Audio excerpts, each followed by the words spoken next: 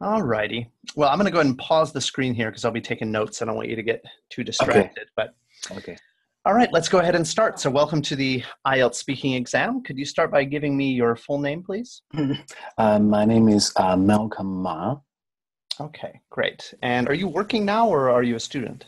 Uh, I work now. Okay. And where do you work? I'm working in a, a national travel agency, and my daily job is operating tours and making arrangements for inbound and outbound tourists. I see. Do you like your job? Uh, pretty much, yes, is my major, and uh, I'm very keen on this kind of experience, and I can communicate with colleagues from uh, uh, uh, uh, uh, all over the world. Yes, is is is my favorite job. Do you get along well with your colleagues? Yes, we have a very relaxed atmosphere in at the workplace. We eat together.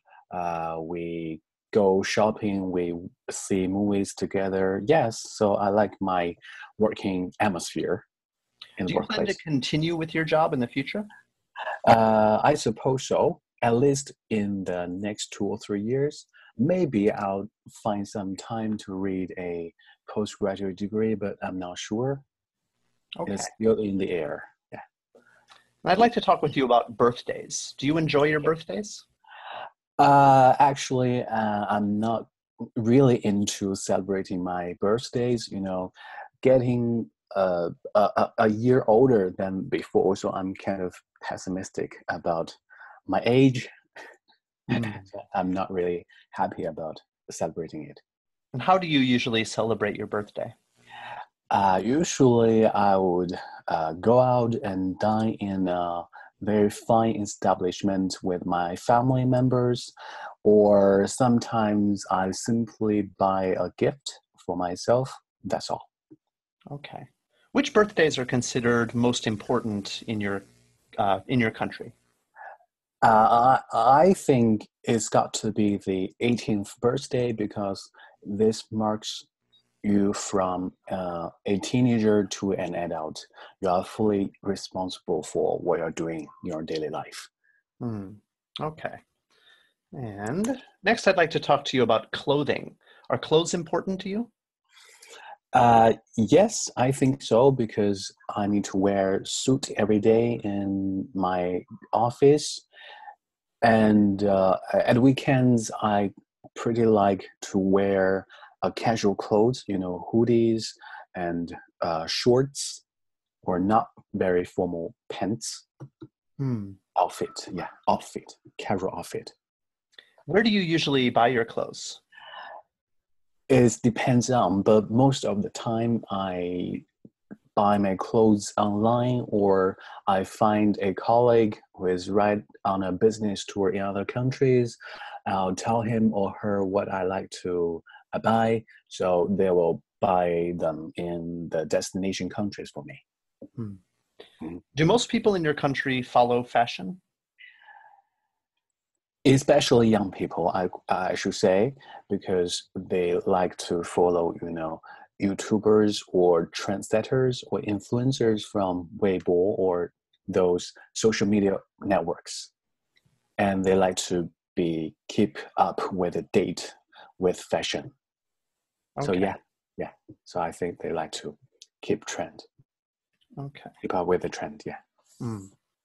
All right. Well, let's move on to the next part of your exam. Um, I'm going to show you a topic on the screen, and I'm going to Okay. ask you to speak for one to two minutes about this topic.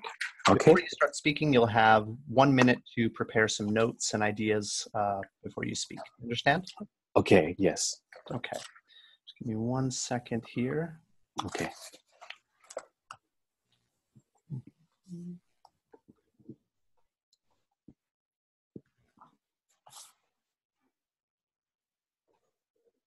Okay.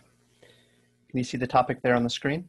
uh yes yes Okay, I'll go ahead and read it out loud. It says, describe a useful skill you learned in a math class from your primary or high school. Okay say what the skill was, how you learned it, who taught you, and explain why it was useful to you. Mhm. Have one minute to prepare, starting now. Okay. hmm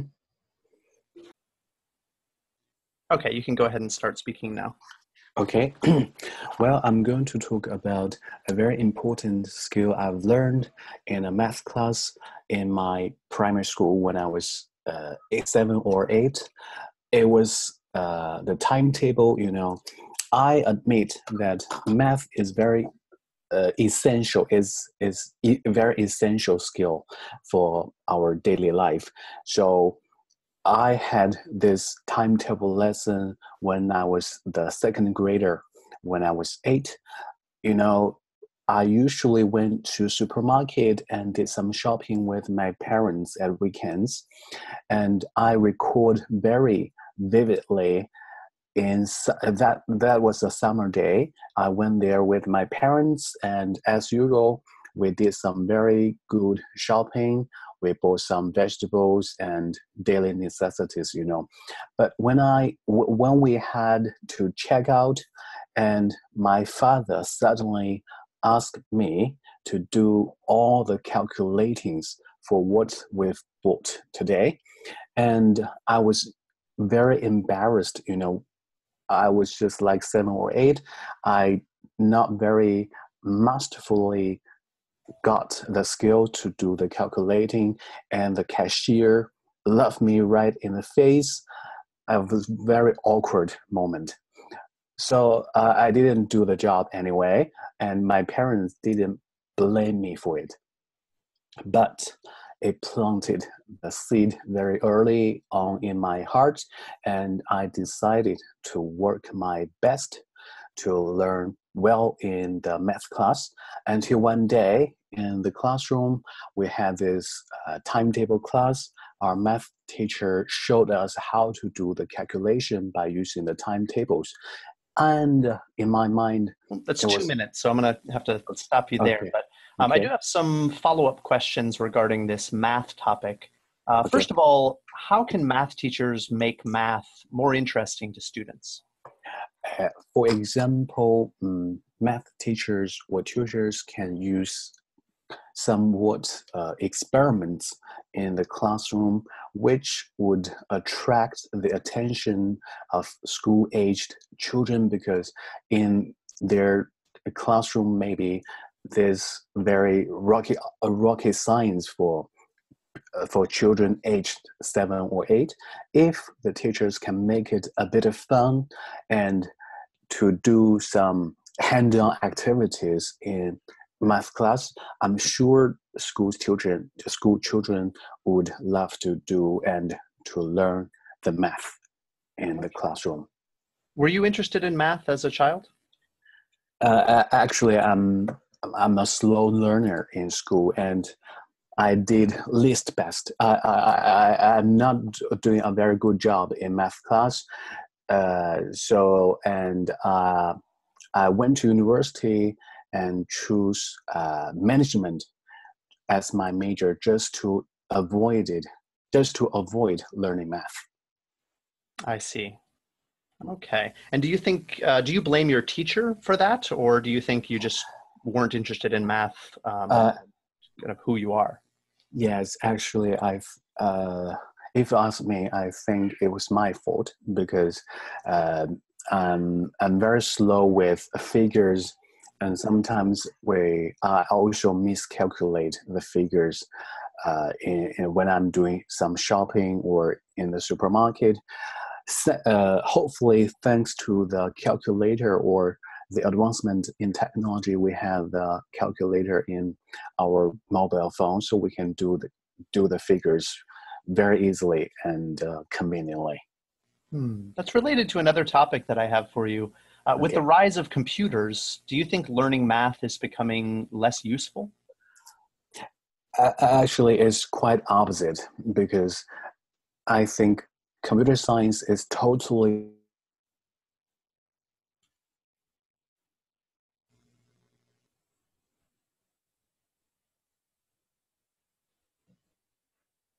is a thing called binary system.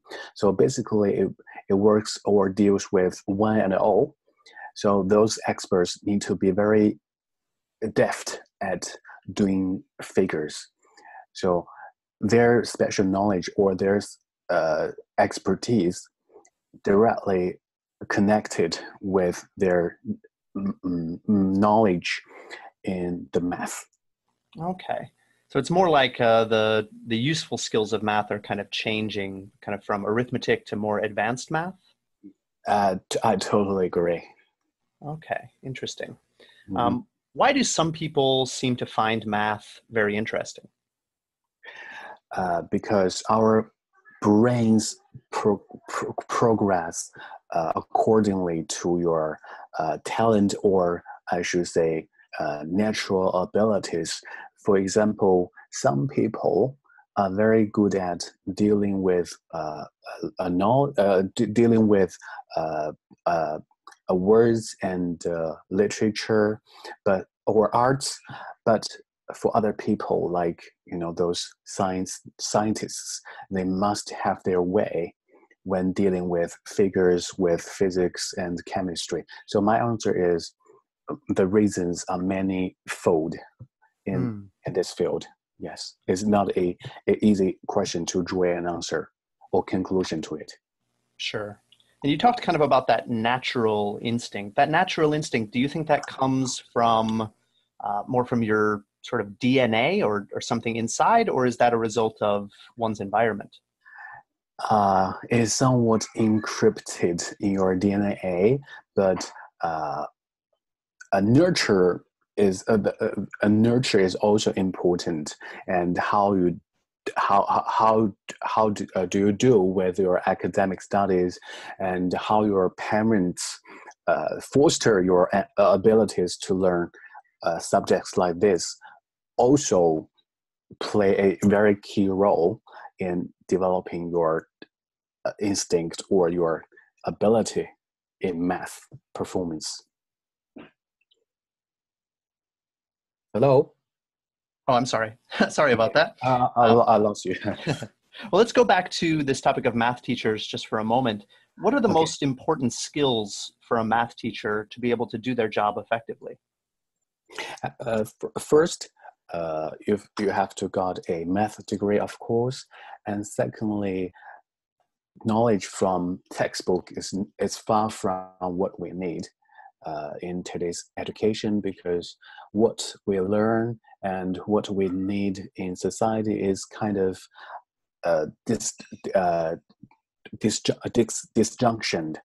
So what I'm trying to say is math teachers not only have to deal with their expertise, but also they need to learn pedagogy. I'm not sure it is the right word. I mean, the way or the approaches make people or pupils feel excited or interested in learning special subjects like math or maybe physics or chemistry, those very uh, complicated rock science uh, subjects. All right. Nice job. We're all done. Okay, thank you. All right. So how did how do you feel? How did it how do you think it went?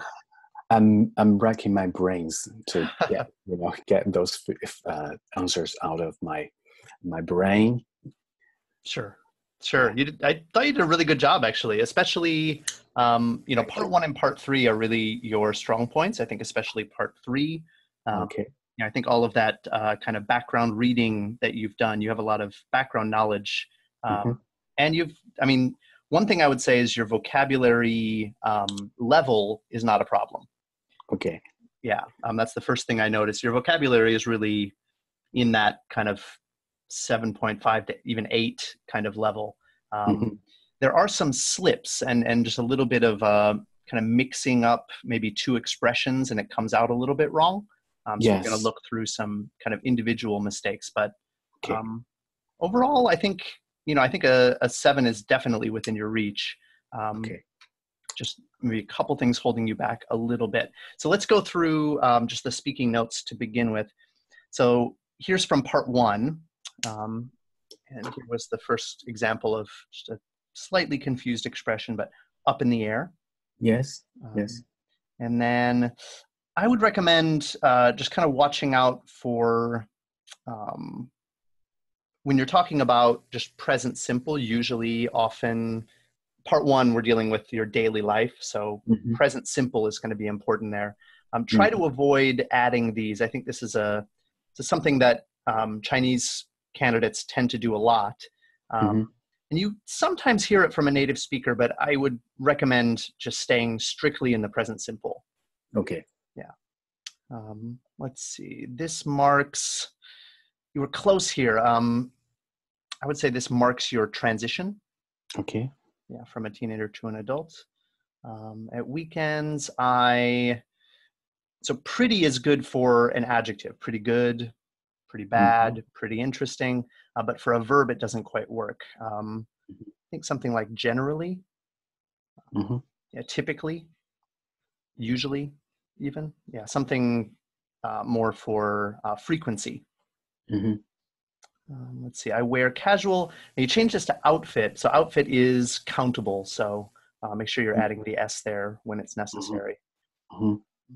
Here, this expression is just it depends. Mm-hmm.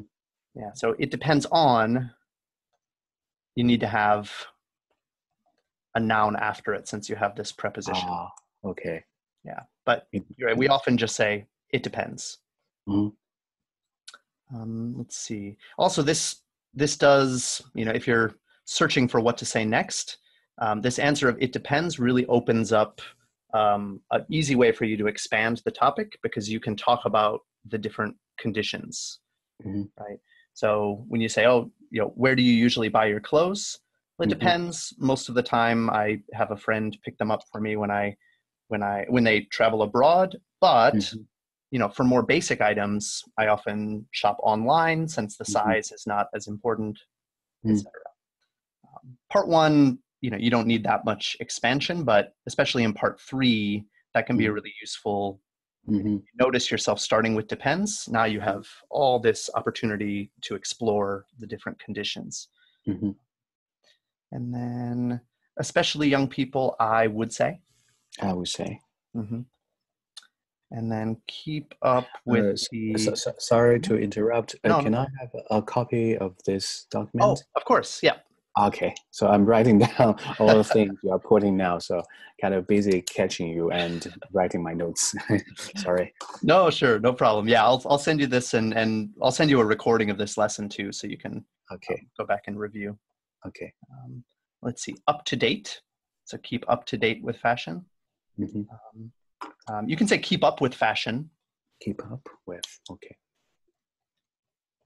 Yeah, that's that kind of mixing of maybe two expressions in your mind that ah, right.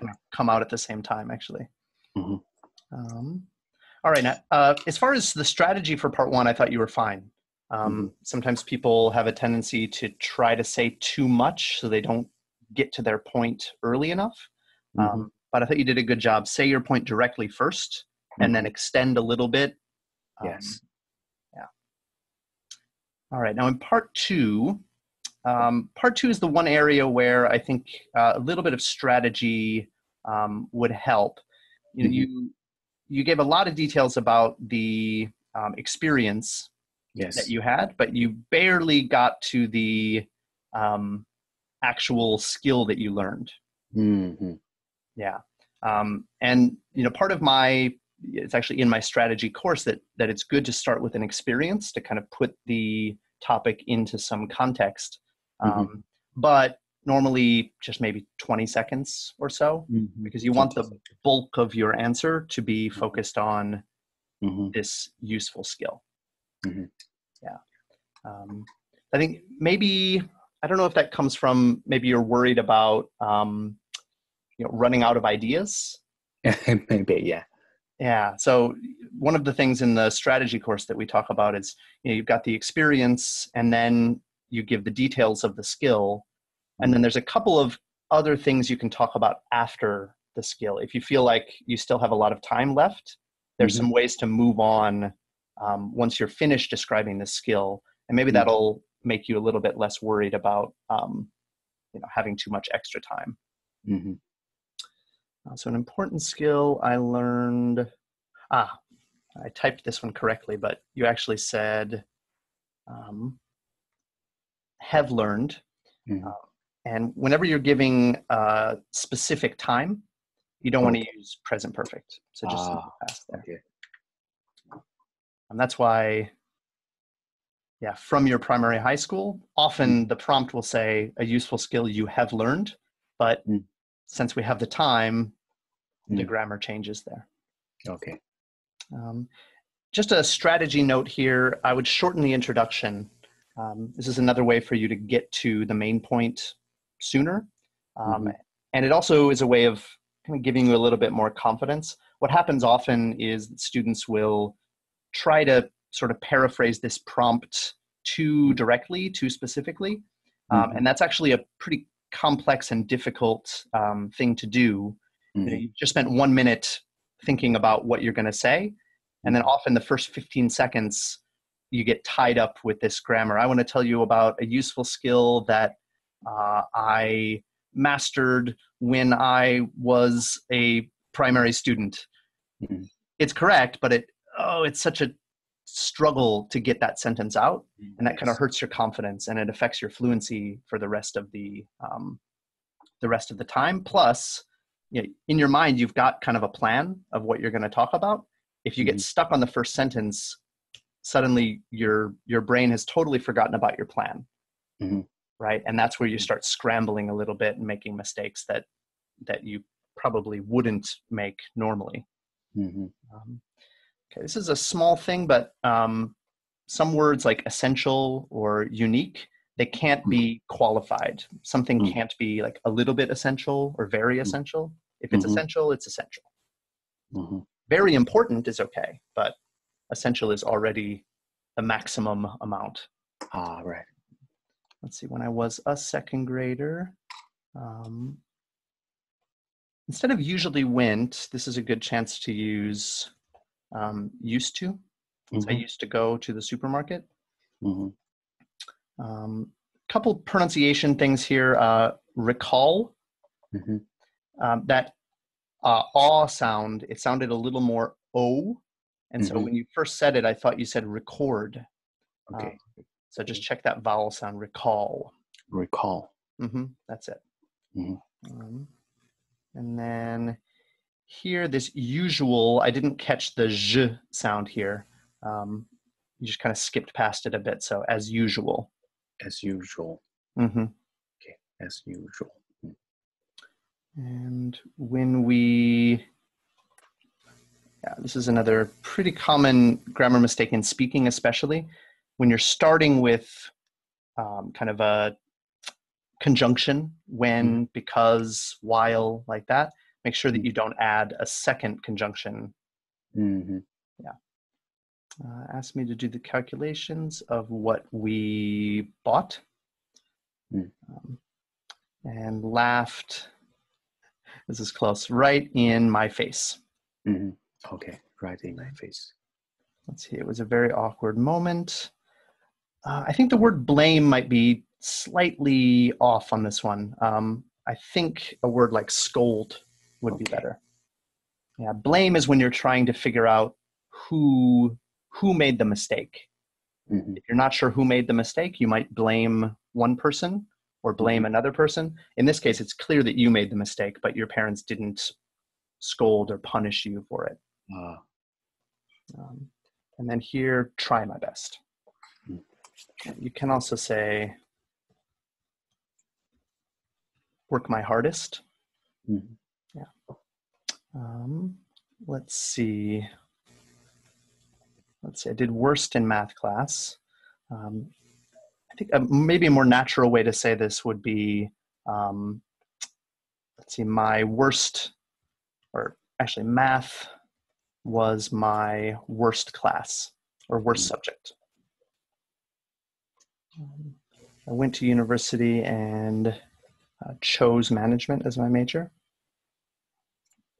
Um, see, it's quite the opposite. Mm-hmm.